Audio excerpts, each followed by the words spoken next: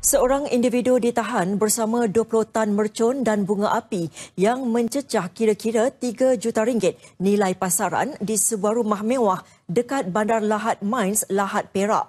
Kesemua bahan larangan berkenaan dirampas Jabatan Kastam Perak 27 Disember lepas dipercayai untuk pasaran sambutan Tahun Baru Cina.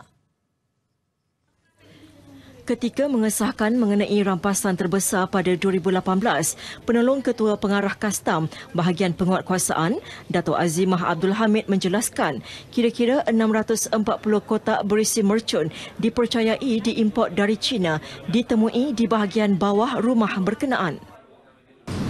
Tangkapan ini melibatkan uh, seorang suspek eh, uh, iaitu berumur lebih kurang dalam 37 tahun yang juga merupakan uh, pemilik bagi rumah berkenaan.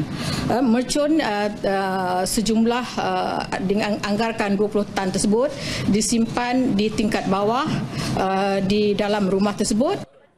Bercakap dalam sidang media di Pejabat Kastam bahagian penguatkuasa Ipoh Perak, beliau memaklumkan suspek direman 8 hari bermula 28 Disember lepas dan bakal berdepan tuduhan mengikut Seksyen 135 Kurungan 1 Kurungan D Akta Kastam 1967. Untuk tahun lepas sahaja, Jabatan Kastam Perak berjaya membuat tangkapan bagi rampasan minuman keras serta rokok bernilai kira-kira lebih 2 juta ringgit.